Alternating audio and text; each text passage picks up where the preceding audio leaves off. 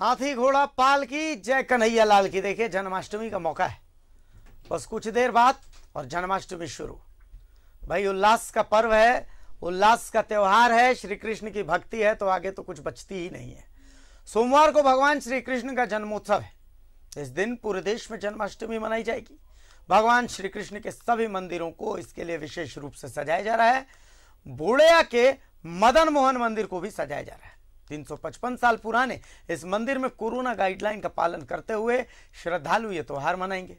जहाँ भक्तों में जन्माष्टमी को लेकर उत्साह है, वहीं इस मंदिर की सरकारी अनदेखी पर थोड़ा मलाल भी है। इस मंदिर पर हमारी ये खास रिपोर्ट देख लीजिए। पचपन साल पुराना है मदन मोहन मंदिर। सोलह में हुई थी मंदिर की स्थापना। मंदिर को नहीं मिल पाई। राज के राज्य ज़िले के बोड़िया में है मंदिर। राजधानी से महज आठ किलोमीटर है दूर। जब जन्माष्टमी की बात हो और मदन मोहन का नाम जहन में ना आए, ऐसा हो नहीं सकता।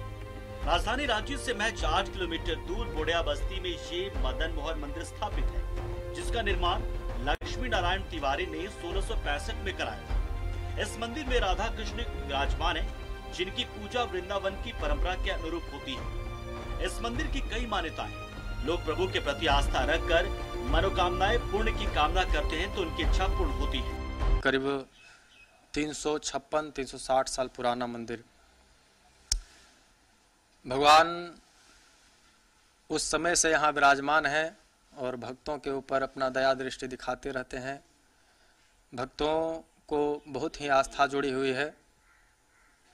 भगवान के प्रति, इस मंदिर के प्रति और बहुत ही श्रद्धा समर्पण के साथ भक्त यहाँ से जुड़े हुए हैं। श्री कृष्ण जन्माष्टमी हम लोग तीस अगस्त को मना रहे हैं और श्री कृष्ण जन्माष्टमी के उपलक्ष्य में सबसे पहले श्रीमद् भागवत महापारायण का आयोजन किया गया है। इस मंदिर के निर्माण की एक अद्भुत कहानी भी है। करीब साढ़े तीन सौ साल पहले छोटा नागपुर में ब्राह्मणों की घोर कमी थी। उस वक्त रातू महाराजा को पूजा पाठ कराने में ब्राह्मणों की कमी खलती थी, जिसको लेकर रातू महाराजा ने छप्पन ब्राह्मणों का जत्था यूपी के कनौती से बुलाया और छोटा नागपुर के अलग अलग हिस्सों में बसाया। इसी में से एक जत्था रांची के बोड़िया में बसा। महाराज का जो मंत्रिमंडल था और गाँव के जो लोग थे, सब एक बैठक किए और एक निर्णय हुआ कि ये संपत्ति को बेच दिया जाए और इसे जो धन प्राप्ति होगा, उससे इस एक राधा कृष्ण का मंदिर का निर्माण हो। तो वही पैसा से उस समय, उस संबत 1722 के पहले बनना शुरू हुआ और कंप्लीट संबत 1722 में होने के बाद इस मंदिर का शुभारंभ हुआ। छोटा नागपुर के प्राचीन मंदिरों में एक है रांची के बुढ़िया में स्थित मदन मोहन मंदिर। 355 साल पुराना इस प्राचीन मंदिर में भगवान कृष्ण और राधा विराजमान है। जन्माष्टमी के मौके पर यहाँ पर विशेष और भव्य कार्यक्रम आयोजित किए जाते हैं।